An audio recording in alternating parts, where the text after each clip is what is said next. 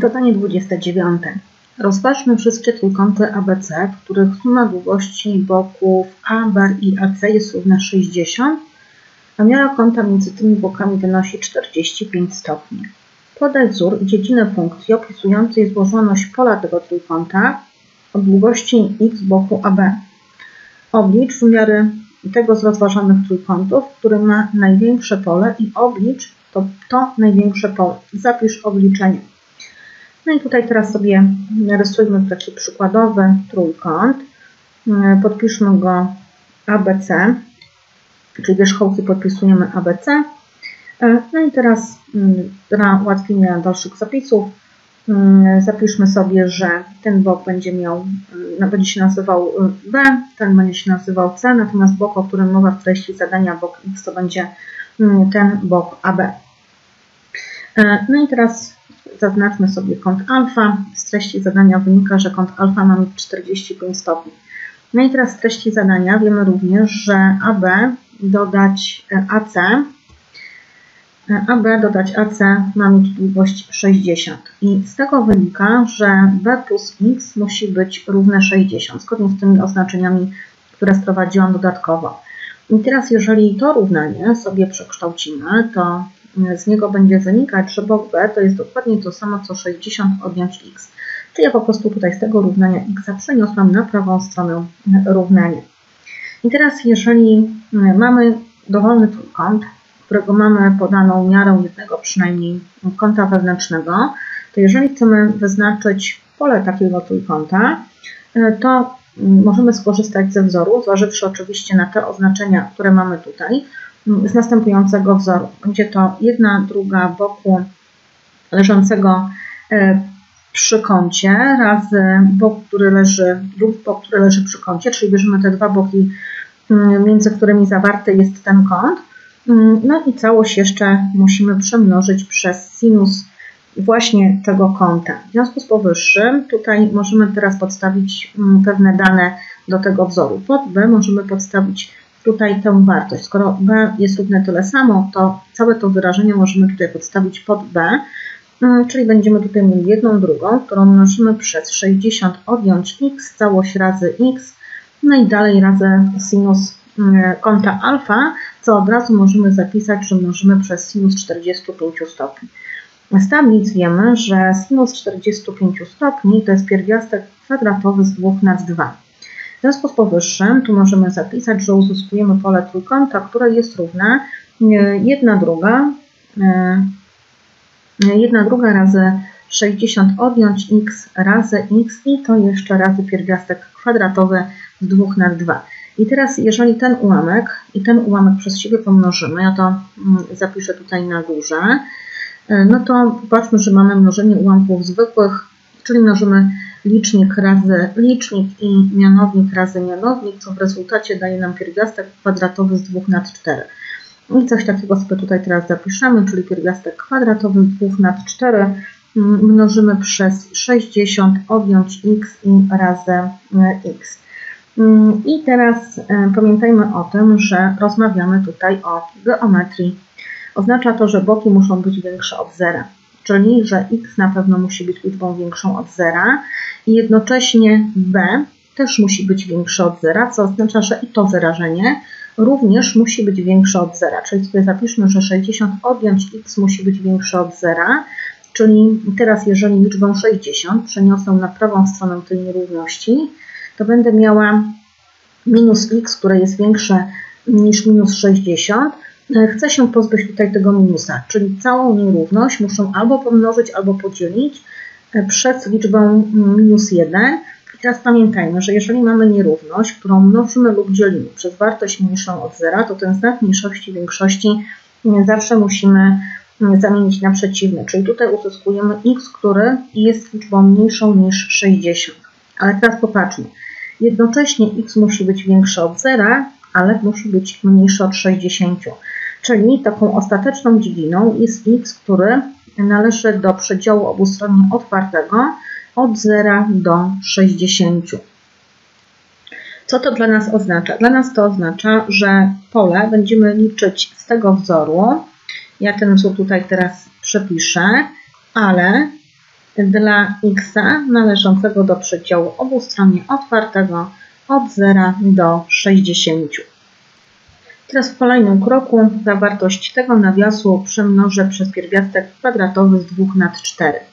W związku z powyższym uzyskujemy tutaj 60 pierwiastków kwadratowych z 2 nad 4, mm, odjąć pierwiastek kwadratowy z 2 nad 4 razy x, to biorę w nawias, ponieważ tutaj jeszcze jest ten x, który widzimy w tym miejscu. Natomiast wcześniej tutaj możemy dokonać skrócenia, bo 60 dzieli się na 4, czyli 60 pierwiastków kwadratowych z 2 nad 4 to będzie 15 pierwiastków kwadratowych z 2. Mm, tutaj oczywiście jeszcze razy x, czyli pole tego trójkąta to jest nic innego jak 15 pierwiastków kwadratowych odjąć pierwiastek kwadratowy z 2 nad 4 razy x i całość razy x. I teraz na tym etapie zawartość tego nawiasu wymnażam przez x. W związku z powyższym tutaj będziemy mieli 15 e, pierwiastków kwadratowych e, razy x odjąć pierwiastek kwadratowy z 2 nad 4 razy x do potęgi drugiej. E, I teraz te wyrażenia, które mamy tutaj w tym miejscu, zamienię kolejnością tak, żeby bezpośrednio przy znaku równości stał x do kwadratu. I tutaj będziemy mieli minus pierwiastek kwadratowy z 2 nad 4 razy x do potęgi drugiej dodać 15 pierwiastków kwadratowych z 2 razy x. I to, co my tutaj uzyskaliśmy, to mamy mm, tak naprawdę wyrażenie kwadratowe i całe to równanie możemy potraktować jako funkcję kwadratową. I pamiętaj o tym, że wykresem funkcji kwadratowej jest zawsze parabola, która ma ramiona uniesione albo do góry, albo do dołu, w zależności od tego, jaka wartość liczbowa e, stoi przy x do potęgi drugiej. No tutaj u nas stoi wartość, która jest mniejsza od zera, to znaczy, że ramiona paraboli mm, będą uniesione e, do dołu. I teraz taki prowizoryczny rysunek sobie takiego, takiej funkcji e, zrobimy. Tutaj oczywiście jeszcze musi być mm, y, czyli ta pionowa oś też musi być podpisana.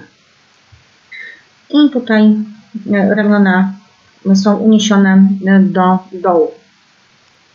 I teraz jeżeli ramiona paraboli są uniesione do dołu, to znaczy, że dla x wierzchołkowego, tutaj ja to zapiszę może krótkę niżej, dla x wierzchołkowego będzie istniała wartość maksymalna. Może e, ujmę to troszeczkę inaczej. W przypadku takim, kiedy ramiona paraboli są uniesione do dołu, to znaczy, że taka funkcja kwadratowa ma wartość największą, ale nie ma wartości najmniejszej. I ta wartość największa będzie właśnie tu, w tym miejscu, czyli to będzie, możemy zapisać y max, czyli wartość największa, i ta wartość największa będzie właśnie dla x wierzchołkowego. W związku z powyższym teraz sobie wyznaczymy x wierzchołkowe. x wierzchołkowe liczymy ze wzoru minus b dzielone na 2a.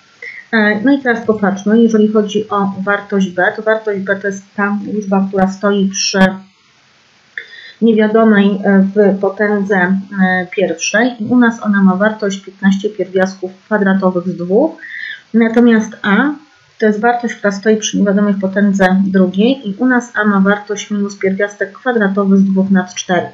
W związku z powyższym tutaj będziemy mieli w liczniku minus pierwiastek, minus 15 pierwiastków kwadratowych z 2 dzielone mm, na dwa razy. Może tutaj to mm, zapiszę.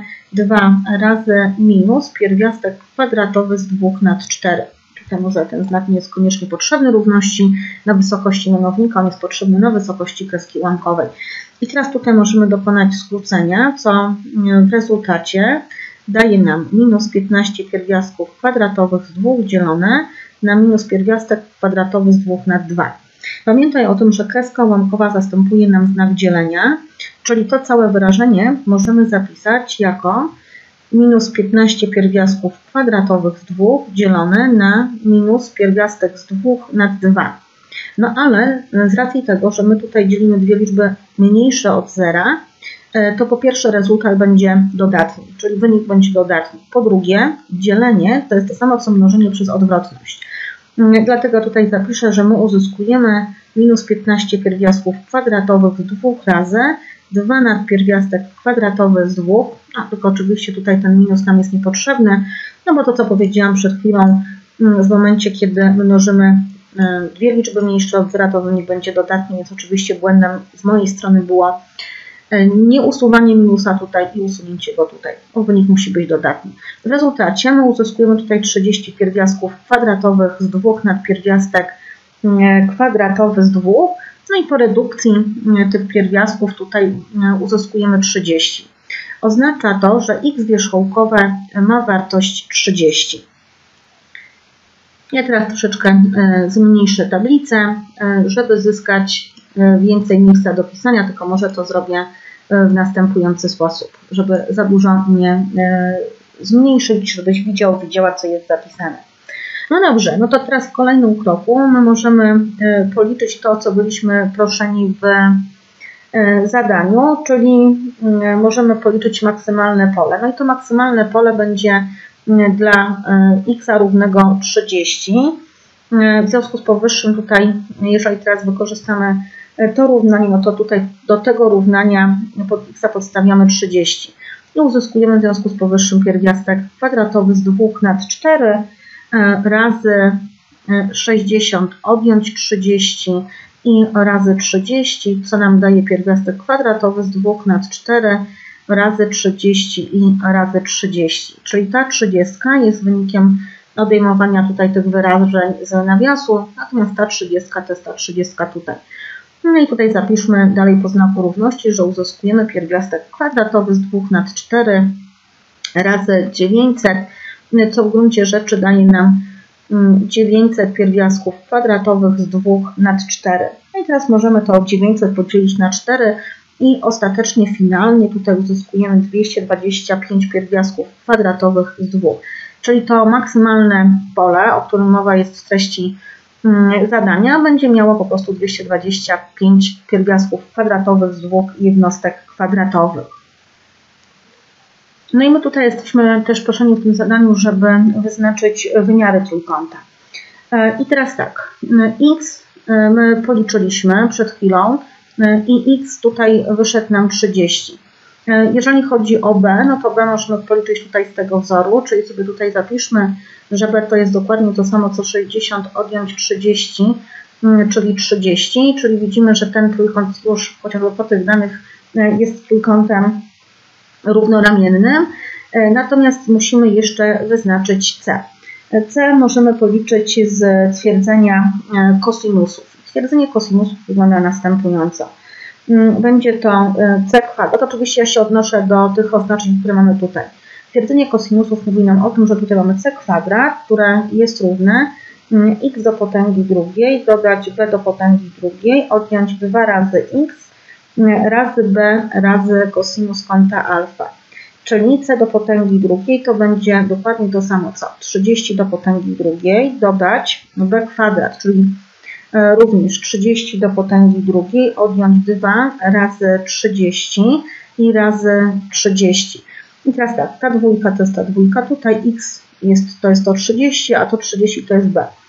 No i teraz jeżeli chodzi o e, kosinus kąta alfa, czyli kosinus 45 stopni, e, to to jest dokładnie to samo co pierwiastek kwadratowy z 2 nad 2. Czyli tutaj jeszcze musimy zapisać pierwiastek kwadratowy z 2 nad 2.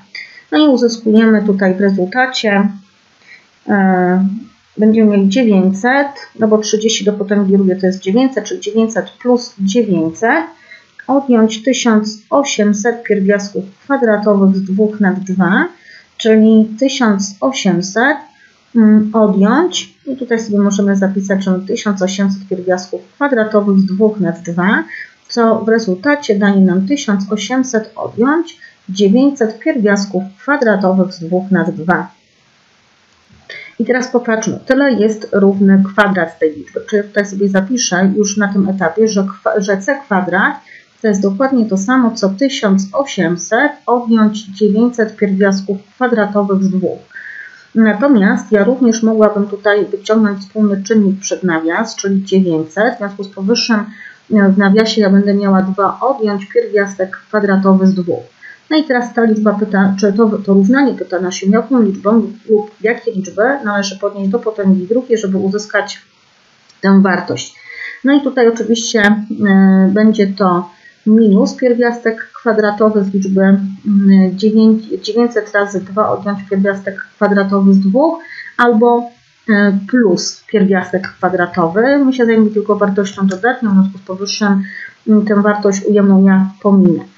Czyli widzimy, że C u nas będzie równy w tym przypadku 900 e, razy 2 odjąć 2 pierwiastki e, kwadratowe z 2.